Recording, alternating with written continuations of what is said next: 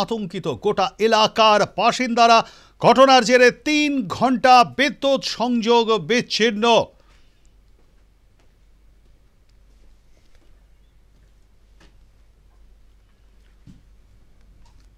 দুর্গাপুরের অঙ্গতপুরের এই ঘটনায় আতঙ্ক ছড়িয়েছে গোটা এলাকায়। আমরা এই বিষয়ে আরও বিস্তারিত জানব। সরাসরি চলে যাব। সেখানে রয়েছেন আমাদের প্রতিনিধি বিকাশ সেন। বিকাশ, কোনো কিছু ঘটে যাওয়ার পর তারপরে কি টনক নড়ে? ঝড়, বৃষ্টি যে কোনো সময় তো আসতেই পারে। তাহলে হাই টেনশন হাই টেনশন এই যে টাওয়ার সেই টাওয়ারের তার কেন থাকবে এত অপলকা? কি বলছে ডিবিসি দেখো, গতকাল সন্ধ্যের দিকে আচমকায় দমকা হওয়া সেই সঙ্গে বৃষ্টি নামে। এবং ঠিক আধ ঘণ্টা সেই বৃষ্টির প্রভাব ছিল এবং তাতেই কিন্তু এই যে হাইটেনশন তার ডিভিসির যেটা উঁচু টাওয়ার দিয়ে লাগানো ছিল, সেই তার কিন্তু ছিঁড়ে পড়ে। এবং এই তার ছিঁড়ে পড়ার সময় কিন্তু বিদ্যুৎ সংযোগ প্রবাহিত হচ্ছিল। কাজেই বড় ধরনের বিপর্যয় ঘটে যেতে পারতো স্থানীয় এলাকায়। অঙ্গদপুর এলাকার বাসিন্দারা খুব সতর্ক ছিলেন। কিছুক্ষণের মধ্যে ডিভিসি পরিস্থিতি বুঝে বিদ্যুতের যে সংযোগ তা বিচ্ছিন্ন করে এবং বড় বড়সড় বিপদ থেকে একটা এড়ানো যায় পরিস্থিতি। কিন্তু তারপরে তিন ঘণ্টা পরে বিদ্যুৎ সেখানে সংযোগ অস্থায়ীভাবে এলেও সকাল থেকে ডিবিসির ইঞ্জিনিয়াররা আজকে কাজ করছেন। বেলা বারোটা থেকে ফের তিন থেকে চার ঘণ্টা সময় লাগবে বলে জানিয়েছেন। এখনও কাজ চলছে। টেম্পোরারি ভাবে কালকে কানেকশন দিল, আজকে স্থায়ী কানেকশন দেওয়ার মানে প্রস্তুতি চলছে।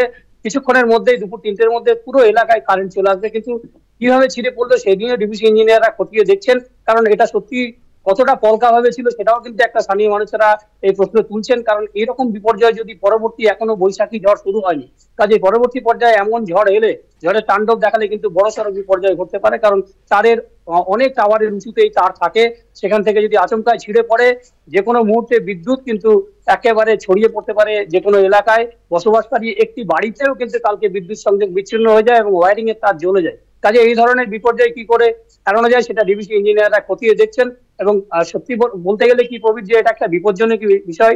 যদি ঝড়ের তাণ্ডবে বারবার তার ছিঁড়ে যায়, সেক্ষেত্রে কিন্তু কি করে এড়ানো যায়, সেটা ডিবিসির দায়িত্ব এবং কর্তব্যের মধ্যে পড়ে। প্রবীর? একদমই তাই। এই বিষয় তুমি যেমনটা বললে যে সেখানে তারা রিপেয়ারিং করছে তারগুলি রিপেয়ারিং করছে এবং বিদ্যুৎ সংযোগ পুরোপুরি বিচ্ছিন্ন করে। হয়তো আহ, এ- এখনও সেইভাবে গরম পড়েনি মানুষের অসুবিধা হচ্ছে না। কিন্তু এই রিপেয়ারিং কি তারা টেম্পোরারি বেসিসে করছে না পার্মানেন্টলি করছে? মানে এই আবার যদি এই কালবৈশাখী সামনে আসছে তুমি যেমনটা বললে এটাও খুব স্বাভাবিক ঘটনা। এটাও তো আর জানিয়ে আসবে না যে হঠাৎ করে কালবৈশাখী চলে এলো। সুতরাং পার্মানেন্টলি ভালোভাবে, মজবুতভাবে কি করছে তারা এই রিপেয়ারিং এর কাজগুলো? কি বলছে ডেভিসের ইঞ্জিনিয়াররা বিকাশ। দেখো ডিবিসি তবে ডিবিসি কর্তৃপক্ষের সঙ্গে কথা বলে যেটুকু জানা গেছে যে একেবারে স্থায়ীভাবে করা হচ্ছে এবং পরবর্তী পর্যায়ে কোনো রকম বিপর্যয়ের হাত থেকে যেন সাধারণ মানুষ রক্ষা পায়, কারণ জনবহুল এলাকায় এই ধরনের তার হাইটেনশন তার গিয়েছে। কাজে সেক্ষেত্রে ডিভিসি ইঞ্জিনিয়ারদের সঙ্গে কথা বলে যেটা জানা গেছে যে যথেষ্ট শক্তপোক্ত ভাবে কিন্তু এবারে বাঁধা হচ্ছে, কারণ এক্ষেত্রে তারা বলে যে বিদ্যুৎ সংযোগের ক্ষেত্রে যে ধরনের একেবারে সতর্কতা অবলম্বন করা প্রয়োজন, সেইভাবেই তারা কাজ করে, কিন্তু কোনোভাবে কালকে ঘটে গেছে।